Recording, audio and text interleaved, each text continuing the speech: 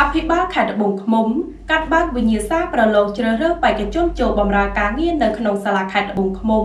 ខណៈបេក្ខជនចូលរួមមានចំនួន133រូប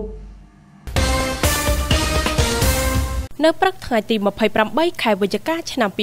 2021អាយុដំបណ្ឌិតជាមច័ន្ទសោភ័ណ្ឌអភិបាលនៃគណៈអភិបាលខេត្តត្បូងឃ្មុំបានអញ្ជើញជាអធិបតីកាត់បើកវិញ្ញាសាប្រឡងជ្រើសរើសបេក្ខជនឲ្យចូលបម្រើការងារនៅក្នុងសាលាខេត្តត្បូងឃ្មុំក្នុងក្របខ័ណ្ឌក្រសួងមហាផ្ទៃការប្រឡងជ្រើសរើសនេះធ្វើឡើងនៅសាកលវិទ្យាល័យហេងសំរិនត្បូងឃ្មុំមានបេក្ខជនចូលរួមមានចំនួន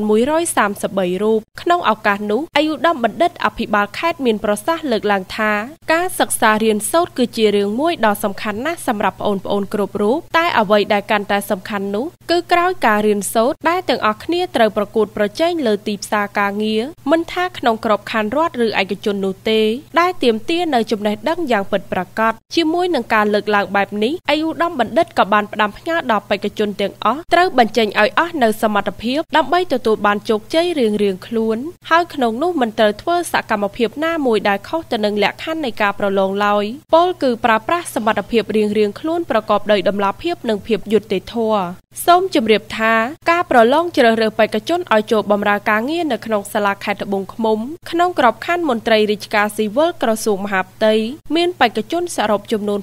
133នាក់ស្មើនឹង9បន្ទប់ក្នុងនោះក្របខ័ណ្ឌមន្ត្រីរដ្ឋបាលជាន់ខ្ពស់4បន្ទប់